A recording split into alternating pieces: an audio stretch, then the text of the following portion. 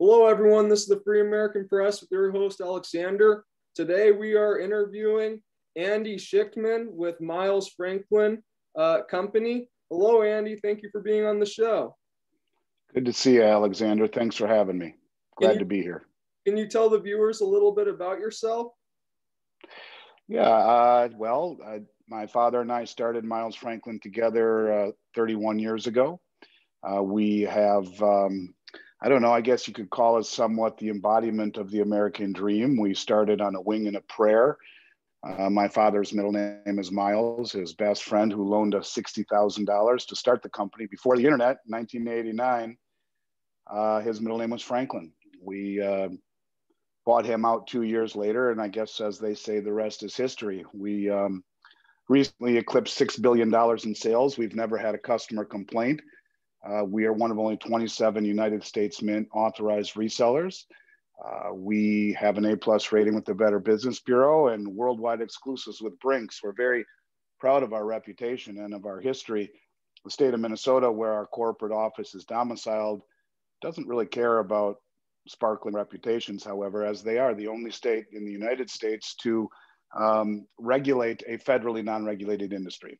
And therefore, we uh, are licensed uh, nowhere else in the country is that mandated. We are bonded, which is the big one. Nowhere else in the United States is that mandated. And we have compliance, continuing education, and annualized background checks of everyone in the company, myself included, all principals, all employees annually.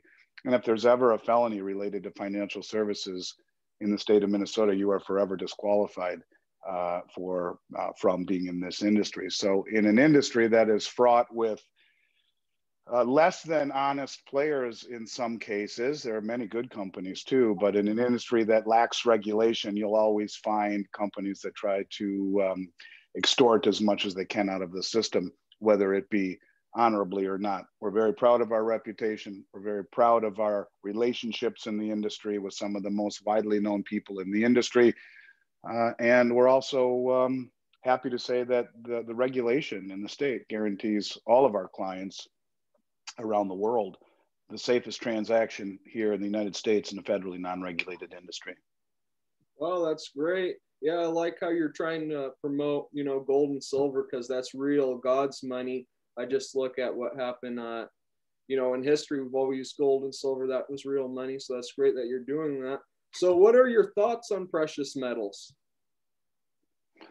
Uh, to me, they are wealth.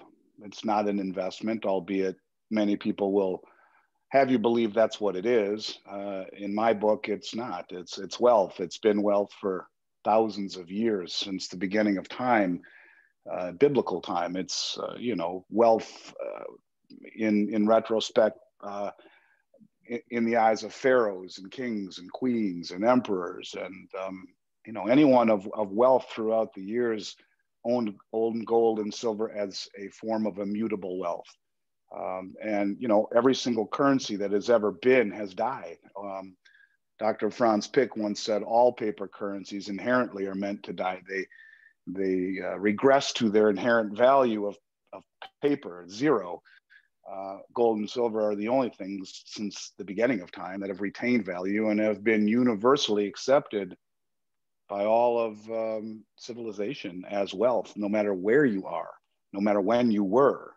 Um, long after the dollar bills in our wallets are replaced with something digital and hanging from a frame in the Smithsonian, gold and silver uh, will, will still be wealth. And uh, I think you can see that as well by uh, the accumulation by the most wealthy and sophisticated players in the world right now have not forsaken gold and silver. In fact, I think they've gone on a crusade over the last four years to accumulate as much as they can. So when I look at gold and silver, I don't see anything other than wealth and 5,000 year old wealth. And when I accumulate gold and silver, it is not to get wealthy, it is to um, accumulate wealth and to protect it. It's more about wealth preservation and return of your money than wealth accumulation and return on your money.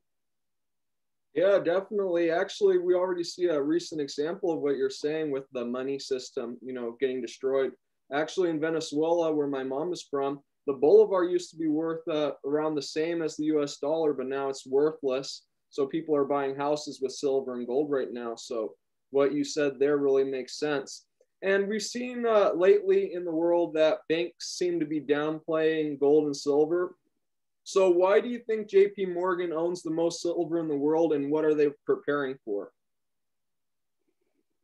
Well, I mean, JP Morgan accumulated all of that silver um, really since 2008 when they inherited Bear Stearns short position.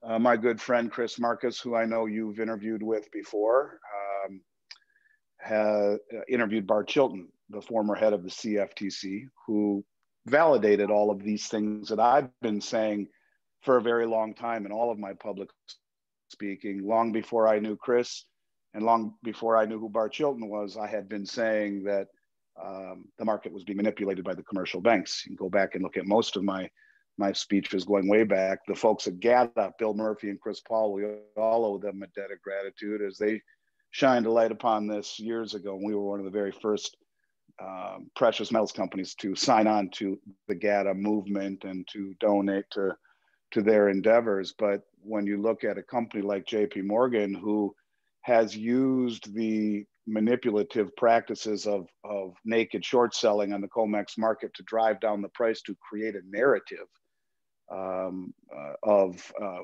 of low prices and of um, no need to buy a barbaric relic like gold and silver through that environment where they just paid over a billion dollars cumulative in fines to the Justice Department pleading guilty to manipulating these markets. Uh, they've accumulated the largest physical position of gold and silver combined the world has ever seen uh, over 25 million ounces of gold and over a billion ounces of silver. And so you're looking at the most sophisticated, well funded, and well informed traders on the planet who have used the manipulative price to accumulate what amounts to the largest physical position of metal the world's ever seen. Uh, shockingly, in paying this massive fine to the Justice Department, admitting guilt, they're still allowed to run and administer the largest silver trust in the world. In fact, they run two of them, one being SLV. Talk about the fox guarding the henhouse. But I think it's very important to realize that when I say price is not important, well, it is, but it's not as important as the actions of the wealthiest people in the world who are using price to throw everyone off the trail. Price is the ultimate tool of misdirection.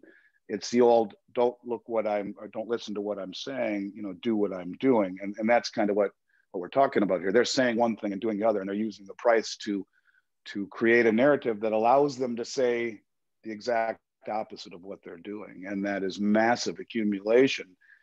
And we've been seeing that now for four years, first with the central banks and now with the commercial banks. And then uh, even further into the uh, now the sovereign wealth funds are taking copious amounts of gold and silver off of the exchanges. So these are very interesting times where the wealthiest people in the world are repositioning and they're de-dollarizing ahead of what reset comes next, I guess. Yeah, what you're saying definitely makes sense. So do you think governments and banks switch to paper money, you know, fiat money to buy up gold and silver with it? I think that's exactly what they do. First, they drive down the price. But yes, I mean, if you if you look at what the big banks have been doing and and the central banks, they've all been repatriating their gold and accumulating it, large amounts of it. Um, but yeah, I mean, you you short the paper price with naked contracts, and then you use your uh, your your watered down dollars to accumulate the physical supply. I think that you know people have to ask themselves if, if they get to the point of understanding and believing that there really is manipulation and there is if it's it's empirical. It's it's past the point of of it being uh, hyperbole. I mean it's real. And and when you see the former cftc commissioner admit that it's real when you see the largest uh, you know bullion bank uh, pay a massive fine and admit it when you see all the other bullion banks paying fines and uh, for for manipulating metals and uh, you know, it's obvious that they're not just manipulating it for for kicks; they're doing it for a reason. It used to be for something called Gibson's paradox, which is the inverse relationship between interest rates and gold, and they wanted to keep people happy in currencies and, and investing in in uh, bonds and, and taking out loans and doing things like that. So they wanted to squash the canary in the mine shaft, that being gold. Now I think it's well past that, and they are using their watered down dollars to de-dollarize, to reposition. I do believe we are on the cusp of a new system, and I think they're using gold and silver to act as um, the anchor to whatever new system comes next. And so I've seen it clearly for the last four years. Uh, huge acquisition, first by the central banks, that kind of um, started the, the ball rolling. And of course, the reclassification of gold as a tier one asset, according to the Basel III rules, um, you know, really, I think, solidified and crystallized my, my thoughts. And, and quite frankly, the actions of these players uh, over the last three and a half, four years has has not changed my thoughts one bit at all. In fact, if anything, it's reinforced it. Yeah, definitely. So you were talking about a great reset. So that brings me to my next question. When do you think fiat currency, the cur- their currency system will end? And will it be replaced with gold and silver or with a global government cryptocurrency? It's a good question. I mean, I'll answer it in a few different ways. First of all, I don't hear enough people talking about the Chinese Belt Road and Rail Initiative. I know that I've heard George Gammon men- mention it, and, and other than that, I'm the only one I hear mention it. But I think it's really important. You have the largest infrastructure project in human history that's underway now, and it's connecting Asia and Africa. It's connecting 65% of the world's population. All of the contracts that are involved in this massive project 40 over 40 40% of gross domestic product globally uh, is a without the dollar and the United States participation, and b the majority of all of these contracts will settle in a Chinese digital yuan. Wow. So the Chinese have already issued a parallel currency to their paper yuan. It's a digital yuan, and they are incentivizing their populace to shift to the digital yuan, although not mandating it. But think about this: when you talk about things over time, if 65% of human population will be indoctrinated into a new world reserve challenger, let's say. Um, I think the likelihood of the dollar retaining singular world reserve status is naive. Um, will it be a IMF um, a special drawing rights like a lot of people think? Perhaps. Could it be a BRICS nation currency? Brazil, Russia, India, China, South Africa, with all of the gold that they've accumulated over the last several years, could it be that they rise to issue a new currency to challenge world reserve? Could it be east and a west, where uh, the U.S. is forced to issue a new basket of currencies, uh, perhaps with its Western partners, backed by gold, tethered uh, to gold, uh, with custody denoted on a distributed ledger? Sure. However, you look at it, I think the days of the dollar uh, retaining its singular world reserve status are coming to an end. Uh, I think the reason you would have a crypto element to it would be because it would offer some sort of immutability, some sort of guarantee that the gold that is perhaps anchored to the uh, to the new currency. And I say that because I think it will be. I think that's why they reclassified it as a tier one asset. It will have some part in a new world reserve currency. I do not think people will ever drink the Kool Aid again when we see what the US and all the Western uh, world is doing to currencies. They are destroying them rapidly, and um, you have to have a tether to it, some sort of a, of a backing. Now, I don't think it will be convertible one to one, but even if only 10% of a new dollar was backed by gold, and that gold and the custody of that gold was was denoted on a distributed ledger, um, I think you would have people that would be willing to to uh, jump back into the pool. But um, so yeah, I think the answer to your question is I think there will be a crypto backing to it. I mean, it's look, the, the, the, politicians would love being able to put their thumb upon everyone's actions and, and movements where privacy is a thing of the past, where, you know, it's either barter or be in the matrix. And, uh, you know, there's no longer paying for cash for, for the kid who mows your lawn or for for the money you lost in a, in a poker game or, or playing golf with your buddies or paying the babysitter or whatever it may be. It's now everything you do goes on a distributed ledger that the Federal Reserve sees. And uh, it, it, it's a scary, frightening thought, one that we shouldn't be excited to see anytime soon. I knew this was going to happen last year. I've been saying it since last March for one year. If you go back and listen to what I've been saying virtually every podcast. I said it because I knew it was coming when Nancy Pelosi in her House Subcommittee Finance bill last March called for a new digital dollar because evidently viruses can live on paper currency. It's killing two birds with one stone. And it also then allows the Federal Reserve to not have to lend money into existence through the commercial banks, which is a big deal. You're seeing no velocity because the commercial banks don't want to lend. So uh, if the Fed had the ability to deposit money directly through a Fed wallet right into everyone's phone, it would allow them to do monetary policy uh, and a workaround without relying upon the commercial banks. You see, all the money that the Fed has created to buy bonds called quantitative easing, all that's done is support the bond market and bring down the back end of the bond uh, market, bring down the yield so that interest rates stay low. So people uh, feel wealthy. It's called the wealth effect. Their 401ks are strong because no one's going to be buying fixed income uh, securities or bonds under the price of inflation. So you get people speculating in stocks and, and buying more homes than they can afford because interest rates are low. But in order to get that money into the system, when they when the Fed buys the bonds from the commercial banks, commercial banks then have two options. They can either park it at the Fed in a reserve account with safety, earning, you know, right now about a percent and a half, uh, or they can lend it to you and I. They can lend it to you to to to buy a new car or to buy a new home or to go to college or a home equity loan. Whenever the lending is done by the banks, that's creating money. That's how it's done in this country. And if the banks don't want to lend because the economy is is fragmented and fractured and uh, companies are hanging on by a thread. Many have already gone bankrupt, making people's balance sheets or the bank's balance sheets uh, not look so good. They're saying, heck, let's just leave it at the Fed with safety. We don't want to lend it to the public and, and risk more foreclosure and bankruptcy. And so that then uh, is creating a lack of velocity. And the Fed wants velocity. That, that velocity, which will ignite inflation, makes it easier to pay off the tremendous amount of debt that they've created. So I guess in a very roundabout way, I would say I would think there'll be parts of everything that you said uh, in a new currency system. I think it will have some sort of backing. I think it will have some sort of distributed ledger technology behind it. I think it will be digital. I think the days of paper currency are coming to an end. And I would not be surprised if it were issued by the IMF as a special drawing rights or a Western and Eastern currency system where you have uh, the Western banks issue a gold-backed new currency, and the bloc, uh, the the BRICS nations, Brazil, Russia, China, India, South Africa, e- issue a competing currency.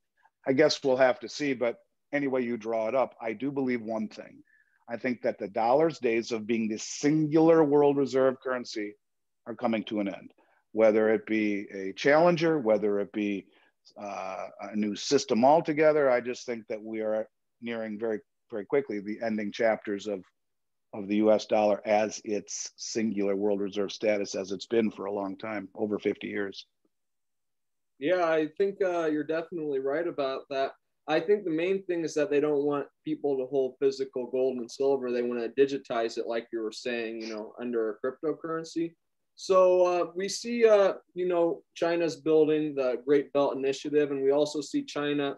The main thing they're taking their first step is building a social credit system, basically where they can track everything you're doing by phone, you know, their digital currency. So that brings me to my next question. Do you think cryptocurrency aids in the social credit system? I think it competes with it. I don't know if it aids the social. I mean, that social credit system would be more along the lines of a central authoritarian uh, monitoring system. I think that the cryptocurrency, much like precious metals, gives you freedom from that type of um, system where you know you have the ability to use different currencies and uh, different mediums of exchange. And if i had to guess in a situation like that where you have a social credit system um, i could see cryptocurrencies being um, prohibited by the authoritarian leaders because it gives them an out to that system which all centers around monitoring and um, you know uh, central government rule authoritarian rule so this is why you're seeing cryptocurrencies do so well this is why you're seeing the big big money regardless of the price, um, take possession of metals. I think it's to uh, be removed from that type of a system, which is coming, where you know if uh, if if they want to enact negative interest rates, if they want to uh, because you didn't, someone thinks that you didn't pay your taxes, where there's a mistake, they can deduct money from you. They can they can do whatever they want when it's a digital currency system and there is no freedom and um, you fall in line or you face penalty and and i think very quickly uh, when money can be added or subtracted from a digital wallet pretty quickly by by the central government um, it's a frightening thought so as as it pertains to that i would think cryptocurrency is is an escape from that type of an environment, not aiding it. I think it is a, an alternative to it. Okay, so that brings me to another question. So basically, um, who made Bitcoin? Was it the anonymous Satoshi Nakamoto or the United States government? Who do you think created Bitcoin? Uh, I have no idea. I'm the wrong person to ask. I did read the white paper, and the white paper was designed by the N or the the the hash tag. Evidently, I think it and again, I this is what I took away from it. I'm the wrong person to ask, but I do believe that the hashtag, uh, the I don't even know exactly what I'm saying because I'm the wrong person to ask, but it was created by the NSA, um, okay. as as was the white paper. So I don't know the answer to that. Um, I don't think it was one person. If I had to guess, it was the United States government, just basis from reading the white paper a half a dozen years ago. But but as it pertains to cryptocurrencies, while I believe they're here to stay and I respect them, and I think that there's room at the table for both precious metals and cryptocurrencies. It isn't an, an all or nothing. I do own some myself. I'm the wrong guy to ask about the inner workings and the plumbings of it. I don't understand it nearly as well as probably many of your listeners do. Okay. So, do you think, um, so back to what we were talking about, whether it be cryptocurrency or a combination of gold and cryptocurrency, do you think cryptocurrency is kind of a distraction from gold and silver? Yes, I do. As a matter of fact, um, I think uh, to a large degree it is, but it's also uh, woke people up to the merits and the argument around crypto. I mean, around precious metals. Um, you know, the whole narrative being freedom from the system, and um, so they're, they're, the argument is the same.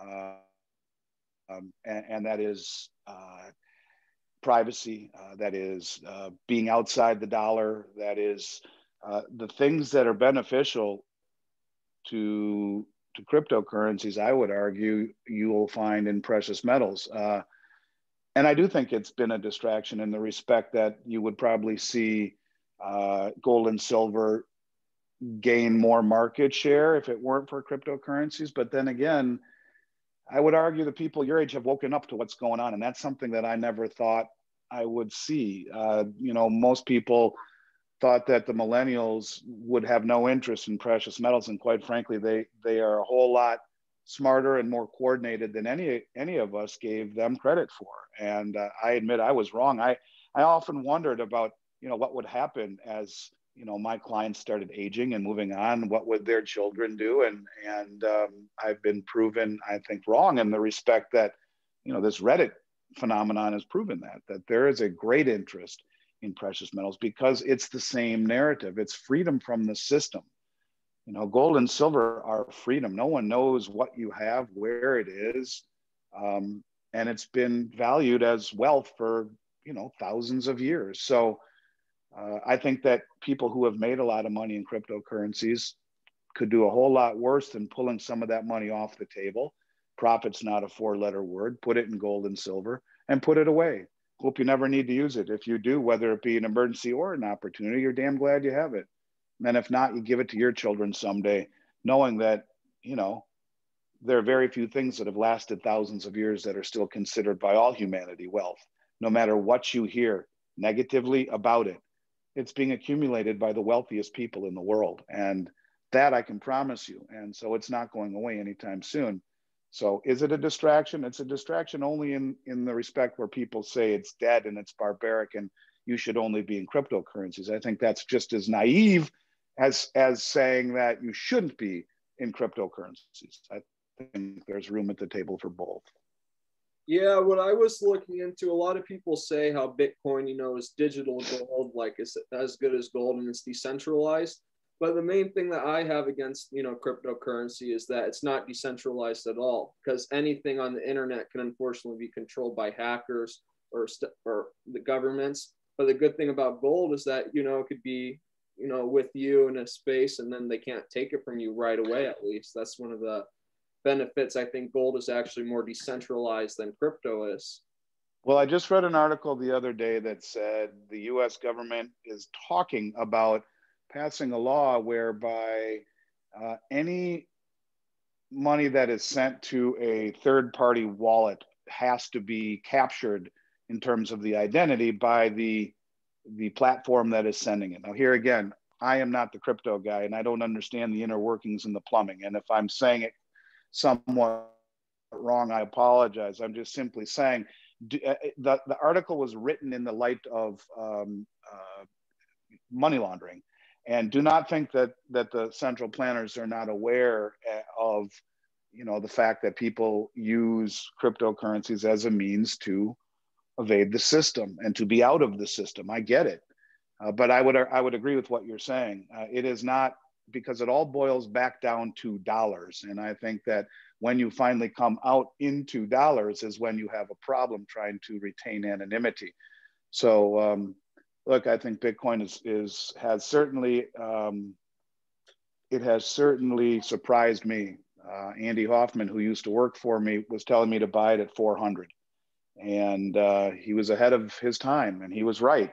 Uh, I've been surprised, but when I look at how difficult it is to get out, like if you want to buy gold with it, it's not like you can buy gold with it and be completely uh, anonymous to the company you're selling it to. And so the third party, party to party ability to transact is where the anonymity is. And what I just read, and it said that the government had had reserved comment on this yet, but in the vein of money laundering, when funds are transferred from third party to third party is what they're trying to put the kibosh on and get all sorts of information on who was this transferred to, what was the identity of person A and person B.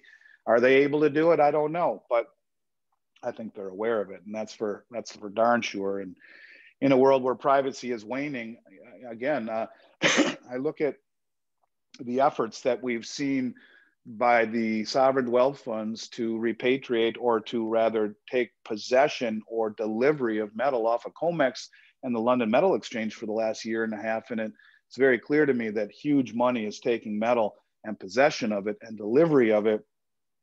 And maybe that's the exact same thing we're talking about here money outside the system, really, that in the end, no one knows about. Because if you would have bought gold from me three years ago, where is it? Is it in the bookcase behind you? You know, is, is it is it in your closet? Is it in your front pocket? Did you bury it in a hole in the ground? Is it in your safe deposit box? Maybe you lost it. Where is it?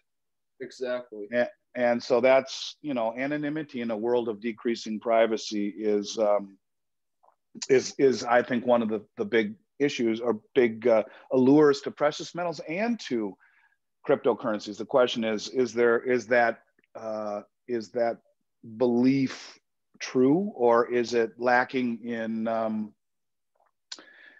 could there be unintended consequences by trying to be ultra private as it pertains to cryptocurrencies down the road? And that's kind of what i took away from this article. Yeah the, the main thing that i was looking at is that i guess every purchase that you do with a uh, bitcoin is actually put on the blockchain so everybody can right. see the purchase. And yeah so uh, it's pretty uh, amazing. So do you think cryptocurrencies and fiat money allows banks and governments to make money out of nothing? Um, well, fiat currency certainly does. I mean, if you look at how money is made, it uh, made. So what when you talk about Bitcoin, there's a finite number of of units at 21 million that can be issued. So not so much. That's the antithesis of it. But when you talk about fiat, when we talk about quantitative easing, the Fed pushes a button and creates money. And at, at, at present time, they're only really allowed to buy uh, government backed bonds, uh, Fannie and Freddie, and um, um, US uh, treasuries. So, although they have merged closer with the, the treasury so that they've been able to actually go into the market and buy corporate bonds and that kind of stuff. But when we talk about money creation, the Fed creates money with a keystroke and they buy bonds from the commercial banks who buy them from the treasury. The Fed doesn't buy them directly from the treasury, but they buy them from the uh, from the banks that buy them from the treasury with money they create out of nowhere. And they buy the bonds, which then drives down interest rates, stabilizes the bond market. The banks, as we talked about, have an obligation really in normal times to lend that money out into the system. That's where money is created out of nowhere. And in in expansion of credit that we've seen over the last several years, that's why there a lot of money was created because people were buying homes and and spending and borrowing, and you have a massive expansion of credit and money creation. And uh, yeah, that's exactly what fiat currency is. And um, really, that's where the problem lies: is that they've created so much in the way of currency. You know, it, it took a few hundred years in this country to create its first billion dollars, where we had fought civil wars and and you know through hyperinflation and Great Depression and and world wars and it took all that put a man on the moon before our first trillion dollars was created. Uh, in, in, a span of uh, six months last year, we created four trillion. It's it's uh, the money creation is extraordinary and and there will be consequences to pay for that.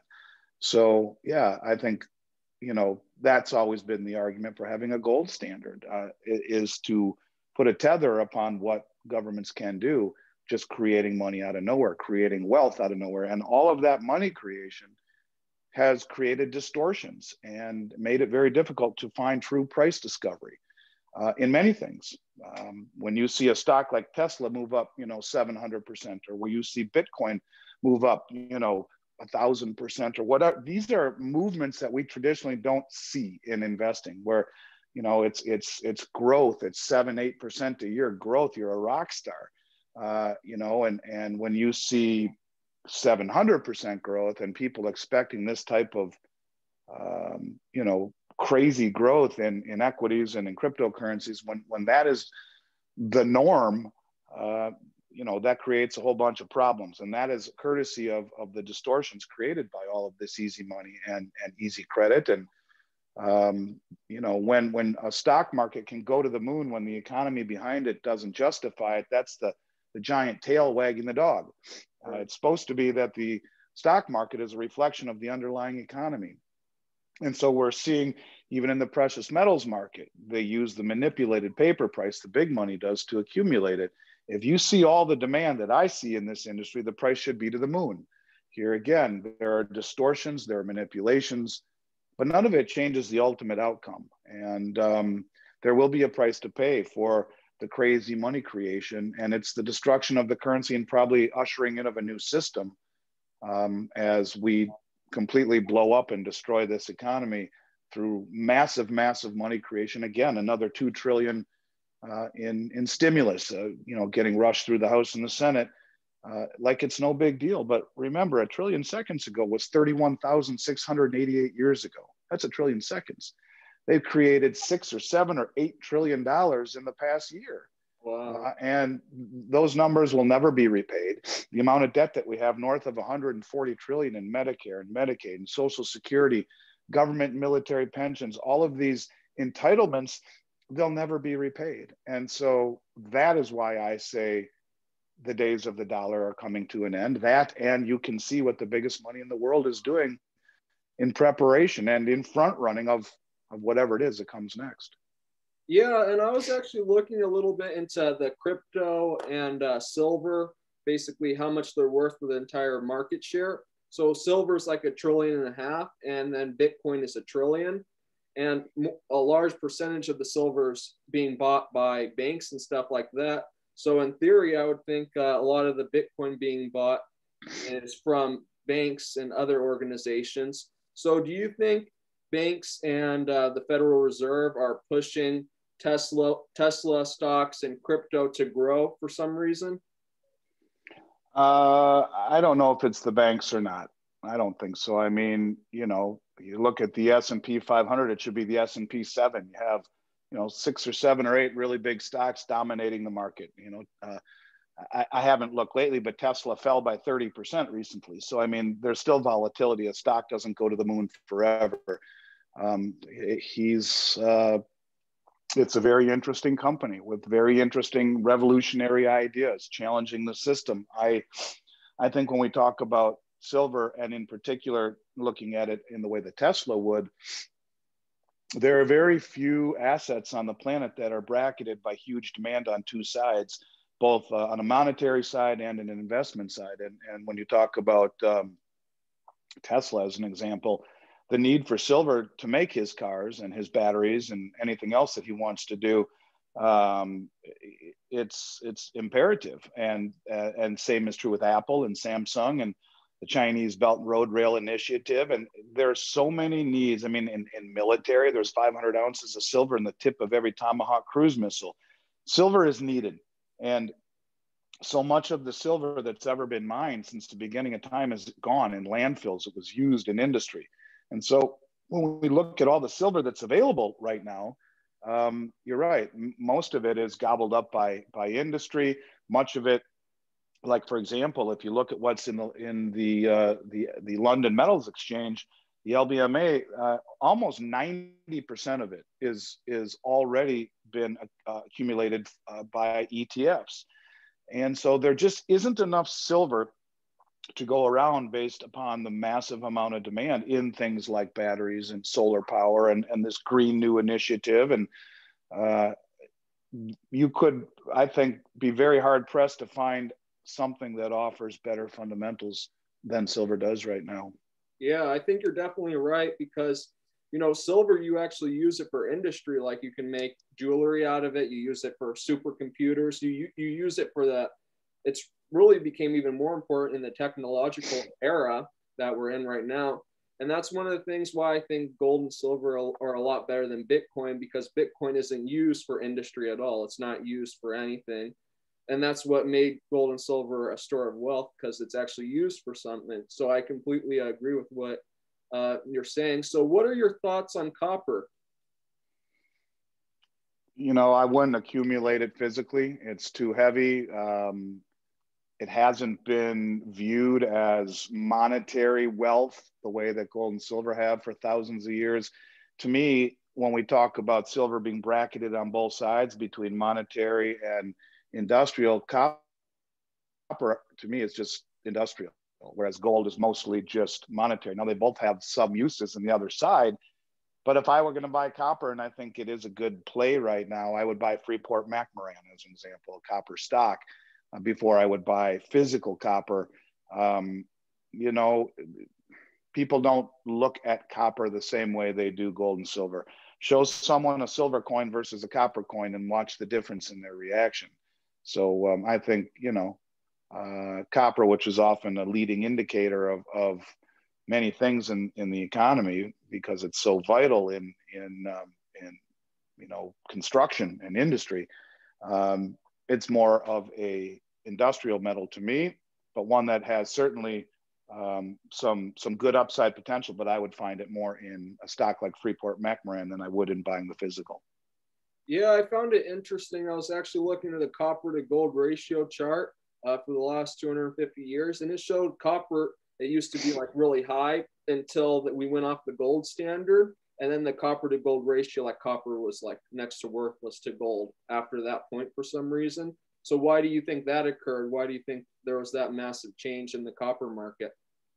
I really don't know, to be honest with you. I, you know, I I've never really followed copper um, to that extent. I just um, it's never been to me anything in terms of a monetary choice. So um, I own Freeport McMoRan, and, and I own it for the reason that I believe copper is a good play but I wouldn't uh, know enough about it in terms of its relationship with gold going back that far, other than to simply say that, um, you know, maybe copper had some sort of a monetary role back then. I don't know, to be honest with you. It's a good question, but I don't know.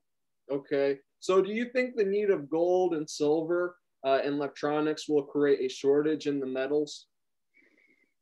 Oh, that's just part of it. I don't think that's the whole reason why. I mean, silver, you could argue, already is in short supply. The last two years, two years ago, there was a 240 or 50 million ounce shortfall between uh, what was mined and, and what was demanded. And last year, over 300 million. And that's with most of the industry on the sidelines due to COVID. Silver is found in nature in a form called, or a fashion called epithermal. It's very close to the surface. So the big deposits were found long ago. In fact, over 70% of every ounce of silver that comes to market each year, roughly 800 million ounces um, total, roughly 550 to 600 million of those ounces come from mining of other metals, byproduct of mining copper and gold and and you know zinc or whatever. Uh, it is um, rarely do we see new silver deposits that come online, and you know uh, only 30 percent barely of what is mined every year is from dedicated silver mines. It's a depleted asset and it is depleting even more. And when you realize that there are so many uses for it, uh, and in a fashion that is called um, uh, inelastic, meaning the, the, the industry that uses it uses it in such small amounts, they don't care how high it goes. If you need a hundredth of an ounce of silver in an iPhone, or you need one ounce of it in a solar panel, you really don't care how high it goes, or three ounces in a Tesla, you don't care how high it goes, you just need it. And that's why these industrials would be foolish to not be accumulating it using these low prices, courtesy of uh, the, the, the four or eight large commercial banks that have been shorting it. Uh, to accumulate as much of it as they can. The problem is it's getting harder and harder to get. And I think they're aware of that too. So I would argue you will see lots of acquisition by the industrials because it is needed. It is harder to get. It is in continual deficits. And uh, you can see now by the demand and the physical side of things that it's also becoming more of a hot topic. Where if I owned uh, Tesla or if I was on the board of Apple, I'd say we need to open up the treasury and go buy some silver right now. So we don't need to worry about this for the next decade because without it we can't make our phones or we can't make our batteries or we can't make our solar panels or whatever it is that we need silver for. If you don't have it it doesn't matter how high it goes. Uh, if you don't have the product you can't make the or the silver you can't make the product. Yeah that definitely makes sense. So you said that the silver supply is starting to get a lot less than what it has been. So do you think it's going to become much more expensive to mine gold and silver in the near future what do you think of mining costs? Well, yeah, I mean uh, the mining costs already are going up as it pertains to to silver because you have to dig further and explore more, and of course now we're seeing oil move up, and you know um, I would expect in an inflationary environment all costs to go up. So yeah, I would think that you have to expend more money to uh, get less out of the ground. Um, in fact, there was a branch of the US government that is involved in um, uh, natural resources, and I forgot the name of it. But several years ago, they published a report saying that it was their belief that silver would be the first item removed from the periodic table of elements just because it's depleting so much. So there are a lot of people will tell you that gold is much more uh, rare than than silver, and in in geological terms, it's true. But just about every ounce that's ever been mined since Genesis is on, you know, on the planet somewhere, whether it be in the form of coins or jewelry or bars. Uh, it pays to um, recycle it out of industry, but silver, so much of it is gone forever. When you talk about such minute qualities, uh, quantities being in so many things that you've touched since you were born, all of us over the last 80 years, all of the things that we've touched that conduct electricity from a simple light switch to a hair dryer to a calculator to a flip phone to a Walkman to a handheld video game to a Xbox to whatever you can think of. It's got a little bit of silver in the motherboard, a little bit of silver that doesn't pay to pull it out. And a lot of that stuff's in landfills, never to come back. So silver is depleted. It isn't recycled. It, um, you know, it, it's it's got every every quality one would want in an investment. Um, lots of uses, depleted, more demand than there is supply, undervalued below its all time high by almost 50%, accumulated by the wealthiest people in the world, shorted by banks to keep people from running to it. I mean, there's a million reasons why everyone should be buying it. And that's, you know, what I'm thankful for the Reddit group for to, and people like you to have alerted the younger people out there to, you know, um, to, to an injustice into a real opportunity. And uh, so I'm very, I'm very optimistic that we will see uh, much, much higher prices in silver. And if not for the industrial uses in and of themselves, we now have a growing monetary awareness, uh, a reawakening, you know, and silver's been valued as money for 5,000 years. It had been forgotten in this country since 1965, actually since 69, uh, when some of the half dollars were still silver, 40%. But really since 1969, all of the coins that we would throw around as currency in this country were void of, of precious metal. Um, and so it's kind of left, it's a whole generation where people have forgotten um, that gold and silver are money, um, not just an investment, the way that they, they look at them now. Yeah, definitely. That actually brings me to my next plus, uh, question. So, why did the whole world simul- uh, simultaneously get rid of the gold standard, and what was their plan in doing this?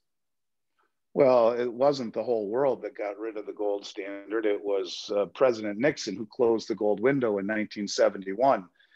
From at the end of the war, World War II, all the Allies met in Bretton Woods, New, New Hampshire in 1944, where the dollar took the role of world reserve currency over from the pound sterling. Um, uh, all of the currencies uh, the countries would have pegged their currency to the US dollar at that point. Um, and the, the US um, Treasury said to the rest of the world, here's a deal for you. Give us your gold and we'll hold it for you. Now you can redeem, we'll pay you for it in dollars. And you can take those dollars and send them back to us anytime you want and get your gold back. It's for the governments, it was redeemable one to one. So give us your gold, we'll safeguard it, we'll pay you for it. But better yet, buy our treasuries. Buy our treasuries, and now you'll be earning interest on your gold. Uh, we'll pay you back in dollars. You'll earn interest on something that's not earning interest. We'll hold it safely for you as the world reserve currency. We just won the war. We're the safest nation on earth. earth. We're the strongest. We are a creditor nation. We'll hold it for you. We'll pay you dollars. With those dollars, you buy our treasuries. You help finance our endeavors. We'll pay you interest. And if you ever want your gold back, send us back your dollars and we'll give it to you. It was a good deal for the world. They got to earn interest on their gold and keep it safely, uh, allowing them to have greater um, trade with the U.S. And and in 19 in the in the late 1960s into into 70, uh, de Gaulle, Charles de Gaulle, I believe uh, was his name, of, of France, started uh, repatriating um, or ch- turning in all of the dollars for gold and started draining the treasury of all the gold when Nixon basically double crossed the world and said, game over. We're keeping the gold. It's no longer convertible. So it was by force, more or less. They said, too bad, the game's over. We lied, more or less, is what happened. And since 1971, there has been no gold standard, and uh, the dollar has been set free uh, to had no tether and, and, and has lost 70, 80, 90% of its value since 1971. So um, it was de facto, it wasn't agreed upon, it was by decree, I guess, of the US government. Okay, so why do you think the rest of the world went along with what happened? Why do you think the whole world just got off, got off of the gold standard at the same time the United States did? It's a good question. Um, I don't know. You would think there would have been more mutiny, uh, and I think that the rest of the world is finally catching on. That the U.S. has been able to live well beyond its its uh, uh, its right to have le- lived as well as we have, uh, beyond our means. When we can continue to print our way into prosperity, the rest of the world lacks that luxury, and um, and that's why I think you know we're here towards the end game. You're seeing um, a drive back to precious metals and away from the US dollar when you see the benefit of cryptocurrencies and you see what can happen to look any government that wants that has the ability to print versus austerity and tough decisions will do so. And they um, are inflating the, the currency away to worthlessness. They are destroying it. And so you know um, that's why i think that there won't be another fiat world reserve currency ever again. I don't think anyone will ever trust it ever again. And um, you know, maybe it's because we had the strongest military. Maybe it's because we still had the best economy. Um, I don't know what the real reason is, why there wasn't more mutiny, but nonetheless, um, you can see that people around the world are waking up to the to the realization that it hasn't been fair, and it's time. You know, look, look at it this way: 190 countries from around the world that comprise Bretton Woods, or excuse me, that comprise the International Monetary Fund, rather, that was founded at Bretton Woods. They've asked for a new system, a new Bretton Woods. So you have the whole world is basically saying it's time for a new system. Uh, and when the International Monetary Fund comes out and says publicly, we want a new Bretton Woods, well, Bretton Woods is what we were just talking about when the dollar was anointed world reserve. And you have 190 countries that are basically saying enough is enough. Yeah, definitely. So that uh, also, I wanted to ask you too, since you know how the dollar has no value except that the United States says it's backed by the United States government and that makes it a fiat currency. So do you think cryptocurrency is a fiat currency because it's not actually backed by anything? Well, I mean, uh, it's it's it's not fiat in the respect some of it would be, but you know, Bitcoin wouldn't be because it is it has a finite number of units that can be produced. So, you know, to me, fiat means you can just continue to create it uh, and create it and create it until it becomes worthless. The whole allure of Bitcoin is the fact that it's decentralized and it has a finite number of units. Um, and that's what really what, you know, part and parcel anyway, part of it would be with the gold standard. You, you can only create as much currency as you have gold backing it. So that's where they are similar. The decentralized part of it is, you know, really, I think what, what turns people on, but but here again, you know, uh, is it really, as you were saying, do you have as much anonymity as you thought you did? Uh, and um, maybe you do, maybe you don't. Are those days coming to an end? I don't know. But the fact that, at least when we talk about Bitcoin, that you can't make more than 21 million ever, well, then no, it wouldn't be fiat in my book.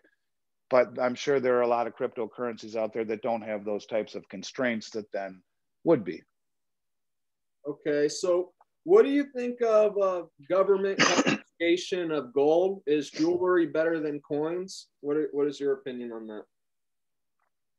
I think that if if um, if the U.S. government tried to confiscate precious metals in a world where China and Russia and many other countries, even communist countries, are promoting it, gold ownership to their, their people, it would be the end of, of the United States as we know it. Uh, if, if our creditors feared Venezuelan style nationalization of assets, it would be it would be game over. I think really the the um, I think the the the big target to me would be um, United States IRA accounts. Uh, I don't know what at last count 15 trillion maybe 14 15 trillion in uh, in IRA uh, accounts that I think could very easily uh, be sequestered, mandated to put in some sort of a US Treasury annuity program where you're guaranteed a certain return in US Treasuries.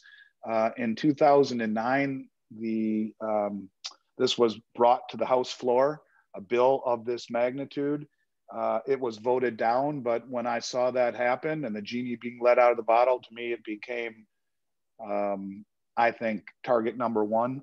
I think if they wanted to confiscate gold and silver, they would be far better off to take the ETFs, GLD and SLV. You have, you know, the, the first or second largest stockpile of silver in the world in, in SLV. Uh, you have um, one of the largest stockpiles of gold in the world. And, and again, there's been a lot of debate whether or not it's all there and, and the prospectus is changing and all of this stuff. I get it but there is a lot of gold and silver in the ETFs of the world. Uh, it would be much easier for the government to come in and nationalize those ETFs, which, which really don't allow you to take possession of it, than it would be to go door knocking, house to house, trying to take people's gold. Uh, in 33, when Roosevelt confiscated gold, everyone had it. It was part of the fabric of the society. Most people have never held a gold coin or a silver coin in this country anymore. And I would argue the law of unintended consequences would be more than they would bargain for. largely guns and gold go together in this industry, and, and you would be knocking on people's doors who don't have the same patriotism that they did in 1933. And I, I don't know that you would see police or army shooting against their own citizens in this country. I don't think you'll see uh, uh, a eminent domain uh, turn in your gold or else clause. I think they could go after ETFs and IRAs first uh, with much less global pushback and get more money with less hassle. And all of that stuff would be like that instead of going door to door to door to door to bank, safe deposit box, and creating a a um, a backlash in the world financial community that certainly we could never once never again try to be world reserve currency or center of free trade. It would never work ever again. So from a lot of stuff that you've been telling me about how you know silver's being manipulated by the banks and the banks seem to be the root of a lot of the problems happening in america so that brings me to my next question should banks be abolished as they were in the original california constitution well, you could argue if we get a Fed coin, they may be on the way out as it is, uh, you know, because if the money comes directly from the central government, from the central bank, what do you need regional commercial banks for? You really don't. If there is no cash, if it's a cashless society, what do you need banks for? You're not going to the bank to get your cash. Money comes directly from the federal government. Your paycheck goes directly into your account on your Fed wallet. Uh, maybe that's happening. Maybe they're on their last leg. I don't know. But if you look at what is the root of much of the evil in the system, it is the big commercial banks. They have been, look at all the fines they've paid over the last decade for rigging markets like LIBOR and Forex and precious metals. And, you know, they're, they're slapped on the wrist. They pay minuscule fines. As an example, JP Morgan paid 920 million and it went up to over a billion dollars, but 920 million was the fine. Their metals desk in the same year made over a billion dollars. So that, you know, from the initial fine, they made $80 million and were still allowed to run the SLV Silver Trust. So is that really a penalty or is it a hand slap? This is a company that makes a billion dollars a month, a month in profit. And they paid 920 or a billion dollars in fines for manipulating the metals market. That's nothing to them. Yeah. Um, so, you know, um, the banks certainly look at a bank like Wells Fargo and all the fines they paid for creating accounts that no one ever signed up for, doing all of these horrible things, and and really nothing happens to them. So should the banks be abolished? Yeah, I think they should. And if the Fed has their way, they will, um, because they would like to to you know have everyone deal directly with with the uh, with the central bank and. Right. Um, it would allow them allow them to enact monetary policy much easier. They could spend money into existence rather than have to lend it into existence, and the whole game would change at that point. So you think they want to make like a forced federal bank kind of thing where you have to, you know, get your crypto from kind of like the federal bank of the United States? Okay. Yes. So was there anything else you'd like to add? No, I, you know, I, I just appreciate the fact that a young guy like you is spreading awareness. Uh, I think it's fantastic. Um, you know, I think that I, I think that the more things change, the more they stay the same. And for people to think that gold and silver are, um, you know, relics of the past and, and are meaningless, just look at what has happened over the last four years. And the biggest money in the world is, is taking possession. You have all the central banks repatriating their gold from the New York Fed for the last four years and from the Bank of England. You have gold re, reclassified as a tier one asset. You have the IMF asking for a new system. You have a third group of reportables called the others and the COMEX, which is largely sovereign wealth funds that are draining the COMEX of metal and the London Metals Exchange, taking as much off in a month as we see in a year. They took off more gold and silver last year than we typically see in a decade. These are the, the wealthiest private investors in the world. And when you see what has happened over the last four years where you know the most sophisticated and well-funded investors on the planet are de-dollarizing i think that's what everyone needs to do also is to mitigate your exposure to the dollar whether it be in cryptocurrencies or precious metals the biggest problem that we can have is being locked into a sinking ship so um, you know, give us a call, uh, uh, email us at info at Miles Franklin or call us at 800 822 8080 and uh, let us earn your business. You know, the one thing that we have struggled with over the last several years is, is do we want to be an online company or have any online presence? And there is a tremendous amount of hacking and identity theft. Uh, when you see the Federal Reserve can be hacked, when you see Sony can be hacked, when you see, you know, these big institutions are being hacked. Several of the biggest online companies, precious metals companies, have been hacked. It makes me very nervous. I have chosen to be old school. We closed our online store two years ago. We do everything on on the phone. Um, it's not as convenient, uh, but we try to make it worth everyone's while. Our prices have been the best uh, or real close to the best in the industry for over a year. Uh, we've done this for 31 years without a customer complaint, uh, and we're licensed and we're bonded. And we'd love your listeners to give us a send us an email and and and put your name or the name of your show in the um, in the subject line, and we'll make sure that they get treated exceptionally and are offered the best possible price in the country. Uh, we are building a new website. We may acqui- acquiesce and add a little bit of an online presence in the next several months, and it's looking more and more that that will happen. But until then, you know, we're old school. So give us a call and uh, send us an email, and uh, add when you can. Um, you know, one last thing, and, and I'll let you run. And and and it shaped the way that I have um, saved money for 31 years. When I started, I mentioned at the beginning of this call that I started this company with my father, and and I was how old are you, by the way? 17. You're 17. Well, you know, Elijah Johnson, who works for me, first interviewed me when he was 17, and uh, he uh, um, he's made a career of it now, and um, when I was 19, I started in this industry. You have time on your side. And um, when I started, my father said there'd be only one rule and one rule only, or he'd fire me. And we started the company together. I said, okay, I can deal with that. What is it? He says, you'll buy something every two weeks, period. You can do that. You have a job forever. Well, I own the company now, and I'm the president of the company. And well, he won't fire me any longer, but I've honored my promise to him for 31 years. I've bought something every two weeks, never, ever missed a two week period. And you look back and you say, my God, look at all of it, all I've accumulated. And when people say price isn't as important as accumulation, when you look back at it after 30 years, that's a true story. It isn't as important. I don't remember what half of what I own I paid for, or more, most of it. I don't remember what I paid for it.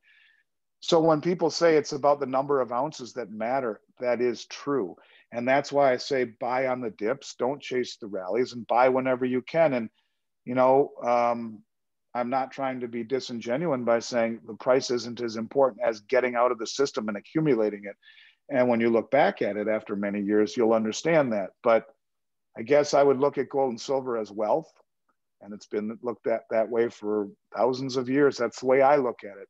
And I hope I never need to spend an ounce of it. And if I do, not just for an emergency, but an opportunity, I'm damn glad that I'll be able to do it. And if not, it'll go equally divisible amongst my three children and hopefully divisible amongst their children, my grandchildren someday. And that's the way that I look at it. And I think for all of you and your listeners, especially the younger ones like you, that is the right way to look at it, not as an investment, but the way that the wealthiest people in the world have looked at it for thousands of years as wealth, immutable wealth that you can pass on through generations that will retain its wealth in the year 3000 when my great great great grandchildren are still using some of the gold i passed on to their great great grandparents.